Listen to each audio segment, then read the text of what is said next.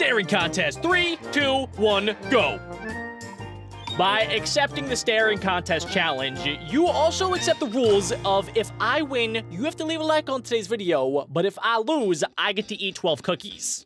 There's a lot at stake here, guys. I really need all the likes I can get. My eyes are on fire. They're actually starting to burn, dude. Okay, all right, it's fine. I'm gonna be okay. I've been training for years for this. Oh my god, keep my eyes open. I, don't, I know I didn't blink. I, I, didn't. I'm looking at myself. I'm looking. See, I'm, I did not blink. Oh no, no, no, no, no, no. Blink, blink. Stop, blink, blink.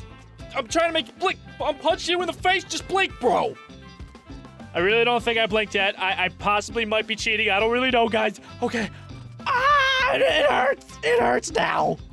Final stretch right here. All right, this this is it. Um, ah, no, no, I did. I don't think I blinked. I, I may have blinked five times already. I don't really know. Oh, jeez. Ah, ah. Okay. All right, fine. I blinked.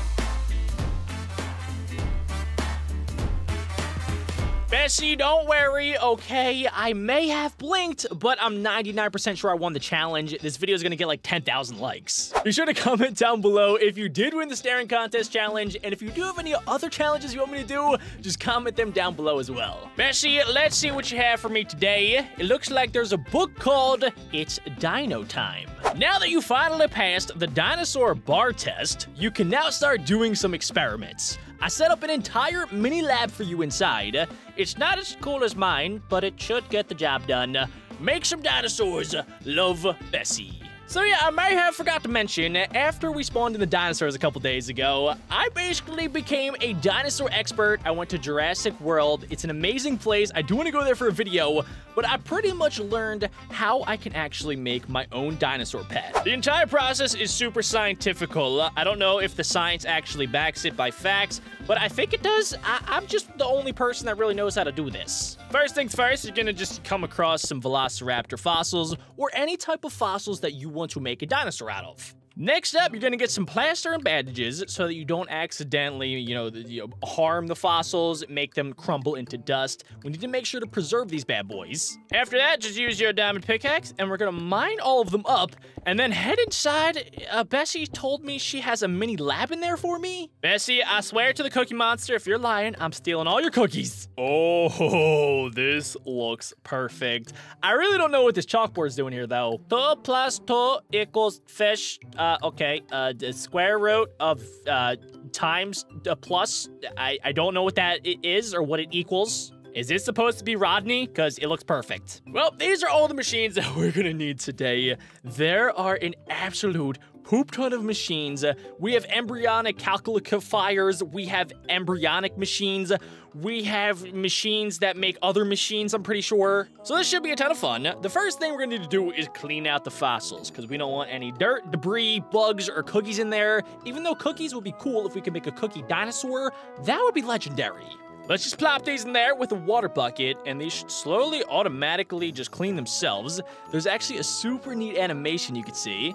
Oh yeah, definitely getting cleaned. It almost kind of looks like a planet is rotating in there. Boom, we got our first skulls. Oh, oh, we actually got a claw as well. So you're gonna get a ton of the fossils uh, outside of, you know, all the dirt and scum and stone that come along with it. You'll just get the fossils by themselves. Now with those fossils, you're gonna need to grind them up for DNA. That is the most important part. The fossils, we really don't even care about it.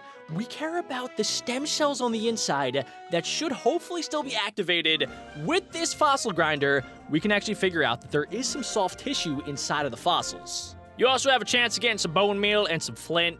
We really don't need that though. Next up comes the really confusing stuff that I really don't know how to do. Luckily, Bessie set this up for me. So we have a DNA sequencer where pretty much you can get any soft tissue. You're gonna just plop it in here, which with some storage discs, and uh, you have a chance of getting an actual DNA strand of whatever dinosaur you're using. So here we have some uh, DNA quality of 40% of a Velociraptor. This one's 20%, 20%, absolute poop. The nice thing is, this next machine makes it so that even if you don't get like a 90, 95, or 100% strand of DNA, you can combine them together to pretty much make your chances way higher of getting a dinosaur. So this should come out with a 95% DNA quality little tiny strand of a Velociraptor. I may have uh, done this a little bit earlier too, and I got myself a 100% uh, quality piece of Velociraptor DNA. I know, I know, I'm an absolute savage. What can I say? I'm just kidding. But if we plop in the 100% quality inside the DNA synthesizer, we should eventually get, after some time here, I, it could take like uh, 10 minutes maybe. But once you put that in here with some DNA nucleotides and also a test tube, that test tube should be filled with the DNA of the Velociraptor along with some other DNA, which should activate it together, and then we should eventually get some live samples of a Velociraptor, you know, the, the, at least the, the cells of it, I think so. I just graduated dinosaur school, so my terminology could be a little bit off. Velociraptor DNA, boom, this is 100% perfect. Now we get into the fun stuff. Actually, there's a couple more machines before we get into the fun stuff. This is where we're actually going to turn the DNA into something we can put inside of an egg, which is also considered an embryo. So as you can see, we have a syringe with a petri dish. This will basically get our sample of the Velociraptor. And then last but not least, as you can see, we have a little tiny egg up there. We're gonna be uh, basically stabbing that egg with the Velociraptor syringe of DNA in order to make a Velociraptor egg. The last step is indeed pretty easy. I know that was a lot of scientific stuff. I don't even remember most of it, I'm not gonna lie. But the last step is to plop your egg inside this incubator machine. You'll see we actually have an egg in there from earlier that me and Bessie were testing. But we can plop in our other egg. You can make it really hot or cold, depending on if you want it to be like a female or a male.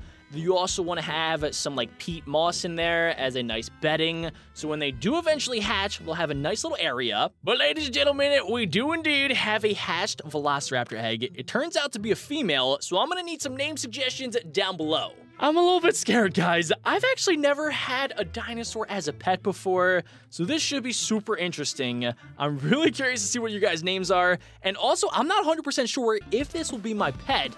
Technically, I created this Velociraptor, but I don't know if it will like me or if it might try and bite my toes off. We might as well do it. Oh, hey, Rodney. Okay, you're gonna watch my back here. Do not steal this Velociraptor. Here we go. Three, two, one, boom. Oh, oh, I have tamed the Velociraptor. Dude, I think it's my pet. Out of all the pets I've gotten, this one could potentially be the coolest. As you guys probably know, if you're fans of the channel, I have a ton of dragons. I have a wolf pack. I have Bessie, Rodney. I have like brand new griffin pets over there. But this one is definitely the newest and also possibly the coolest.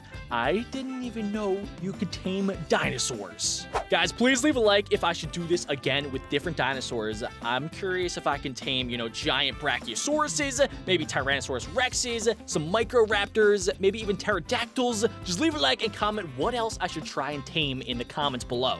Oh, Flip, Rodney, you were supposed to keep your eye on it. Where'd it go? Where'd it go? Uh, buddy? Hello? Hello? Oh, I, I see it. It looks like a tiny little snake. There's a wild bunny rabbit over there. I see it. Now, if I right-click on you, Oh, I can make it follow me? No way, bro. No way. Come on, Mr. Velociraptor. Or Mrs. Velociraptor, I should say. Where'd that juicy little bunny go? Oh, we have a fake Bessie over here. Let's look at the job done. So if I punch this fake Bessie, where did Mrs. Velociraptor go? Come on, come on. Oh, yep. Oh, wait, I should probably feed you, right? Oh my gosh, that was such a creepy turd. I don't even know what do dinosaurs eat. I'm guessing live animals, or at least that's what I thought. But maybe it's too tiny to eat live animals?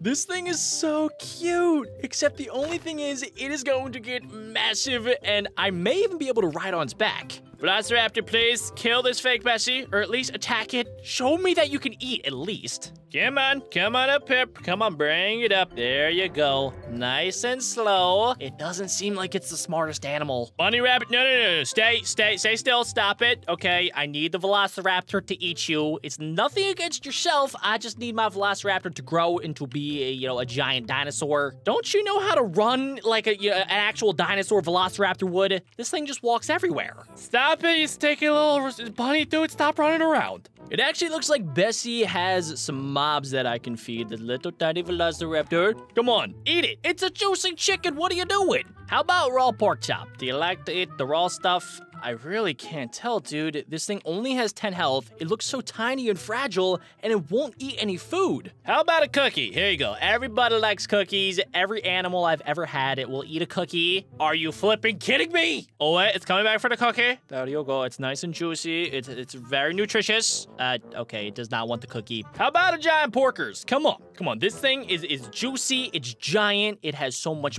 juicy meat on it. Please, just, I don't know, dude. I don't know what to do, guys. This thing will not eat, and they did not teach me in dinosaur school how to feed a baby velociraptor. Ladies and gentlemen, I'm gonna need your suggestions down below on how I can actually train this thing, because it doesn't seem like it wants to eat anything. It doesn't seem like it wants to, you know, destroy a pig and maybe get a little bit bigger from all the nutrition the pig brings. No, it just doesn't want to do any of that. If you guys do have suggestions, though, uh, just leave them in the comment section down below, along with your name suggestion for our Mrs. Little Velociraptor here. That is gonna wrap it up though. I hope you guys did enjoy. Leave a like if you did. My name is BeckBroJack. I am now a dinosaur master, and I will see you guys all back again here tomorrow for a brand new video.